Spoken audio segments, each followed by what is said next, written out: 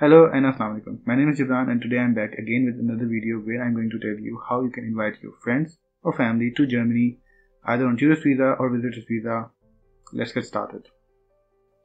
What is invitation letter? There's a misconception about it like some people call it invitation letter, some people call it sponsorship letter. But in German it is called Verpflichtungserklärung, which means obligation letter. What is the function of this letter?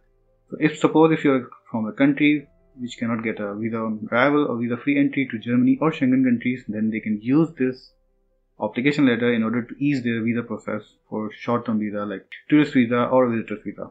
Who can apply for this application letter? Anybody who is living in Germany right now, either they are student or on workers visa or on blue card or a German national, it doesn't matter, they can all apply for this application letter. From where you can get this application letter? You can get this from Ausländerbehörde, which in English means foreign office. If you don't know where it is in your city, I would suggest write city name and Ausländerbehörde, Google it. Whatever just comes out, you can go to them and ask for this. What documents do you need for this application letter? Usually the list is same all over the Germany, but I would suggest before going for this letter, just check your local Ausländerbehörde website and see if you're taking all the documents with you or you're missing something. First document. If you're a foreigner in Germany, then you need your passport and visa for this letter and if you are a German national, then you only need your personal address or ID card.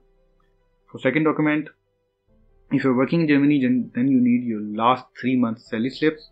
If you're self-employed, then you need your last Steuererklärung, which means tax declaration. If you're a student and not working, then I would suggest watch this video till the end. I would suggest how you can invite somebody with the student status Third document you need. It's better to have a copy of his or her passport, the person you are inviting, and also all the personal details his first name, last name, place of birth, date of birth, his passport number, his address in the home country, your relationship with that person, all the personal details you needed for the form that you're going to fill for this application letter. Fourth thing that you need. Suppose if somebody is coming with the person that you're inviting, suppose spouse or child, then you need all the basic information of those person as well, like suppose first name, last name, date of birth, place of birth, passport number, everything. But you had it from the person you're inviting. You also need same information for those persons as well who accompany your inviting person. Fifth thing, the address where they're going to stay. So if they're staying with you, then write your address. And if they're having a hotel reservation or Airbnb or anything like that, then give that address as well. All the information and documents that I mentioned in this video, you need it in order to fill the form of application letter. So it's better to have all this information and document. And one more thing, it's not a requirement by the Ausländerbehörde office, but it's better to have the copy of the passport of the person you are inviting. How many people you can invite, it depends on two things. First thing, how much money you are earning. But don't worry, even if you don't earn any money, you can still invite people. Second thing, how many dependents you have in Germany. That means, suppose if you're married and your spouse is not working, then this she or he is also dependent on you. Other one, if you have a child, that child is also dependent on you. So these are the two things that decides how many people you can invite in Germany. Let me give you an example that how many people you can invite with how much money. So let's talk about first the dependents in Germany. So if I'm living alone in Germany, that means I'm dependent on myself. I'm a single person, then I only need 1040 euros from me. And if I have one more dependent, that means in total two persons, then I need 1570 euros. If we are a family of three person, then I need 1800 euros for ourselves. And if I need more than that, like suppose if we have five and more, then I need 2520 euros only for ourselves, the dependents in Germany. This is just the dependents in Germany. Now, how much earnings I need in order to invite one adult person? For one adult is 416 euros. For couple is 374 euros per person. That means for a couple is 748 euros. For children, that is from 0 to 6 years old, it is 240 euros.